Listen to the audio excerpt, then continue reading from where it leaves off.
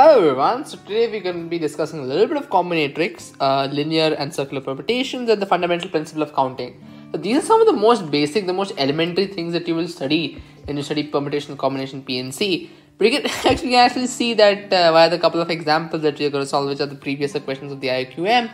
You actually see that even if you have a really rudimentary or a really basic understanding of permutation combination, you're still able to easily solve the two problems, right? And you know, historically, from the past couple of years in the IOQM, combinatorics has been relatively easy.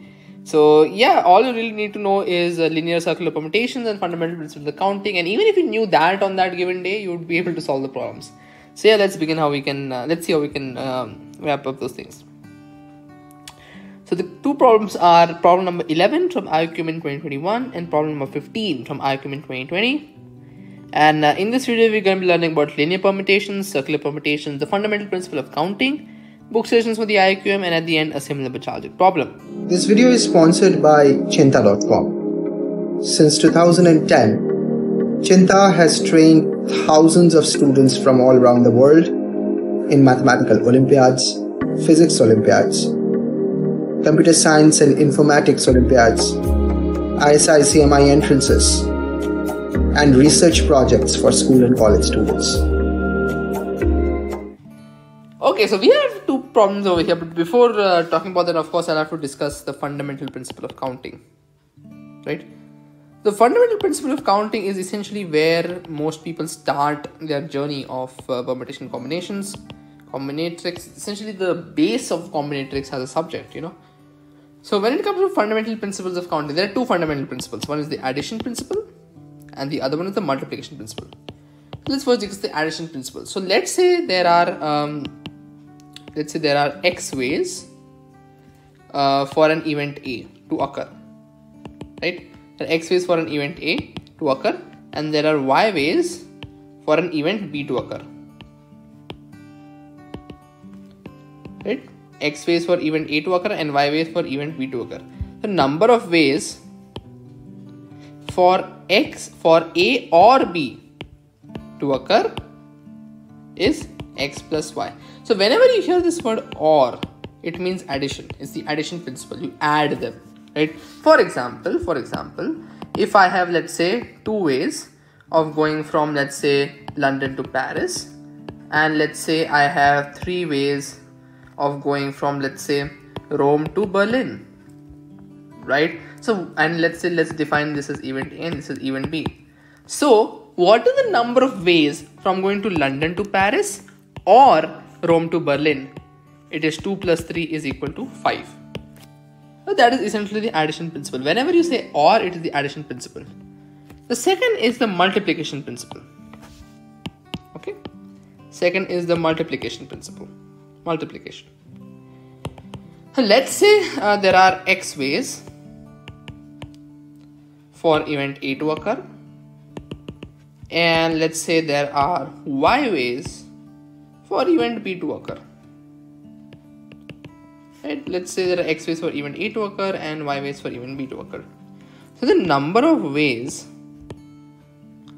for x for let's say A and B to occur that will be x times y which is xy so whenever you say and, whenever you say and, now it is multiplication. Just remember that it is multiplication. And is multiplication. So for example, let's say there are two ways of going from London to Paris and three ways of going from Rome to Berlin. So what are the number of ways of going to from going from London to Paris and from Rome to Berlin? It will be 2 times 3 is equal to 6. This is essentially the difference between the um, addition principle and the multiplication principle. Whenever you have and, it will be multiplication whenever you have or it will be addition. These are the fundamental principles of counting. Now once you've done that let's discuss a little bit about linear permutations. Right? So what are permutations? Permutations is arrangement so if i say what are the number of uh, ways of arranging three alphabets a b c? You can say that there is abc there is acb there is bac there is bca right? There is CAB and there is CBA. There are six, right? So there are six ways of arranging three alphabets. Now 6 if you actually notice is 3 factorial. And in general the number of ways of arranging n, uh, n objects is n factorial. Right? Given that they are distinct n distinct objects. Number of ways of arranging n distinct objects is n factorial. This is called linear permutations. For example, if we have the numbers 1, 2, 3, 4 and 5, what are the number of ways of arranging them in a line? So you have 5 gaps and this will be actually 5 factorial. Another way to look at it is called as the gap method. So I don't know what you call it. Uh, you can call it anything really. So in the first place, for example, we have these five uh, five numbers. I want to arrange them in five places. So in the first place over here, I have I can arrange five numbers. In the second place over here, I can arrange four numbers. In the third place over here, I can arrange three numbers. In the fourth place, I can arrange two numbers. And obviously, the fifth number comes here. So it is 5 into 4 into 3 into 2 into 1 via the multiplication principle.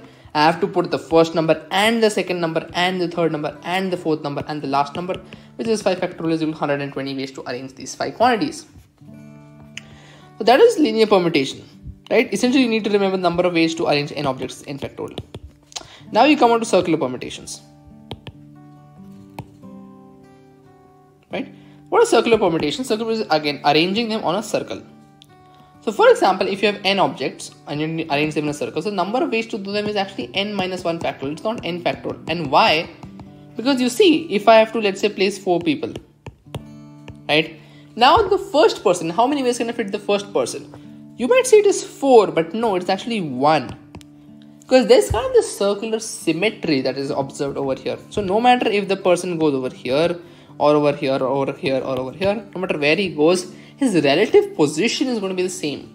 If you look at it from above if i look at this table from above right, it's going to essentially look the same for me. Like or, or you can consider it like no matter if this if this guy is sitting over here the view that he is getting of three empty spaces is the same right? The view he's getting is the same. If he sits over here let's say the view that he will get is the same. Right? So all of these four positions are actually symmetric. Right? So these four positions over here, they're actually symmetric. There is only essentially one way you can put the first person. If you put the first person over here, then there are three remaining vacant spaces. To put the second person, let's say I put in here. The third person is two spaces and the fourth person obviously one space. So that is 3 into 2, that's 6, which is 3 factorial, which is 4 minus 1 factorial. So again, if you have n people, number of ways to arrange them is n minus 1 factorial. Now this is obviously uh, considering the anti-clockwise arrangements and the clockwise arrangements are different. If they are same, it would be n minus 1 factorial by 2. Right? If, if you consider the clockwise arrangement and the anti-clockwise arrangement to be the same. However, um, um, if they are different, as in the case of arranging people, because the people are distinct, right? Different people are distinct. So in that case, would be simply n minus 1 factorial. So yeah, that was essentially a little bit of background behind this, the couple of problems. And uh, now let's move to them. So they're saying that the first problem, three couples sit for a photograph in two rows of three people. Each such that no couple is sitting in the same row next to each other or in the same column one behind the other. How many such arrangements are possible? So what they're trying to say is let's say we consider a 2 by 3 matrix or a 2 by 3 grid. Right, two rows and three columns.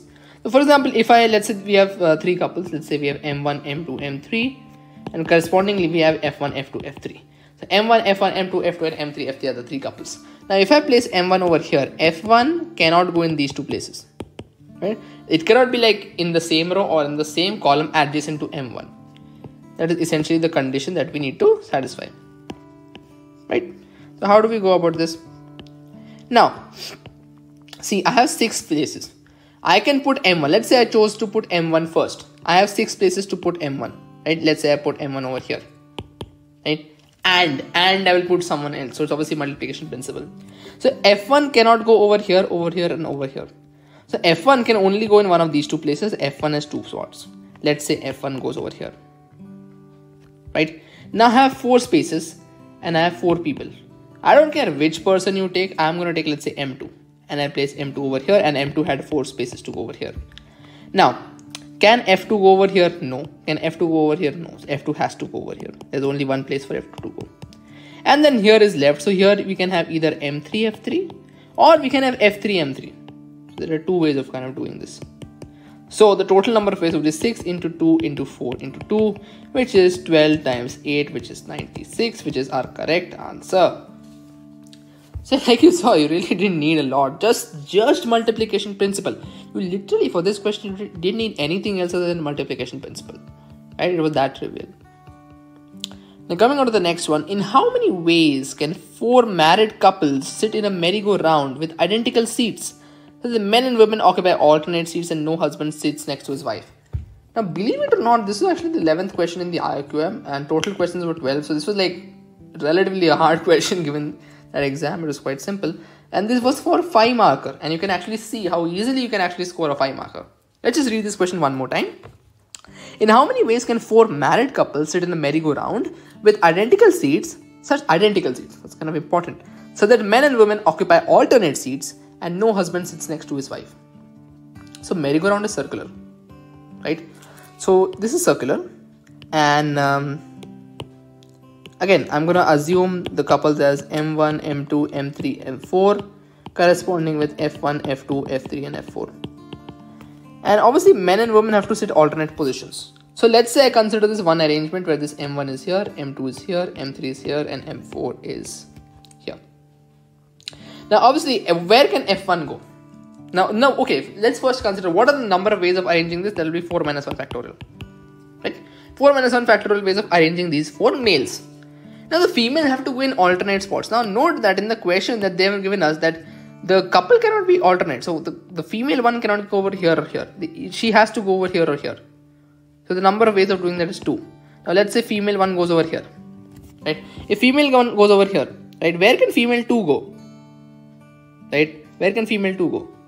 how many like how many ways can female 2 go so female 2 can either go here and then female 3 automatically goes over here and if you actually notice that's the only way. Why? Because here female 3 cannot go. Here female 3 cannot go because then this m3 and f3 will be adjacent to another which is what we don't want. So the only possible way if f1 is here is this. Right? Similarly similarly if i can just erase this. Similarly if i put f1 over here automatically the others are arranged. Now I cannot put F2 over here or here. F2 has to go here. That makes sense. Can F3 go over here? No, F3 has to go over here and F4 has to go over here. So no matter where I put, it's gonna fix the uh, arrangement of the others. Right, so there is only one way of doing that. So essentially this becomes 3 factorial into 2. 3 factorial is 6 into 2 which is 12. So again, very simple question of circular permutation for 5 marks can be easily done in 60 seconds if you of get, get the hang of it. So yeah, uh, a couple of problems uh, relatively easy and uh, yeah, it was really interesting actually uh, how, how this is I think the beauty of mathematics. Elementary ideas can uh, fetch you some good marks in competitive um, Olympiads. So moving forward, we have certain book sessions for the IOQM, challenges and theories of pre-college mathematics, mathematical circles, excursion mathematics, a test of mathematics at 10 plus 2 level, elementary number theory by David Burton, elementary theory of numbers by Sierpinski, principles and techniques in combinatorics, and of course, problem solving strategies by Arthur Engel. Okay, so we have some similar but challenging problem. Uh, six chairs are evenly spaced around the circular table. Okay, one person is seated in each chair, right? Each person gets up and sits down in a chair that is not the same and is not adjacent to the chair he originally occupied. So that again one person is seated in each chair. How many ways can this be? So what they're essentially trying to say is let's say we have um, six chairs around a circular table. Let's say and they're evenly spaced. Let's say they are these six chairs. And for example, if a person was sitting over here, he got up. And when he comes down to sit, he cannot go over here, he cannot go over here, and he, cannot go over here right? So he essentially can only go in these three chairs. So they're asking in how many ways can this be done? So again, a little bit of circle permutation, the multiplication principle, and that would be good enough for this. Say if you're able to make any progress on it or if you're able to solve it, let me know in the comment section below. And until then, I'll see you in the next video. Thank you very much. The programs are designed for students who are passionate about mathematics. And they are personalized with one-on-one training, individual evaluation, and remedial sessions. The reason Cheenta students are successful over the last 10 years because they are taught by mathematicians and real Olympiads from leading universities in India, United States, and Europe. Some of our students come back to teach at Cheenta from Oxford, Cambridge, Harvard, MIT, UCLA, ISI, CMI, IITs, TIFR, and IISc. For more information, visit cheenta.com.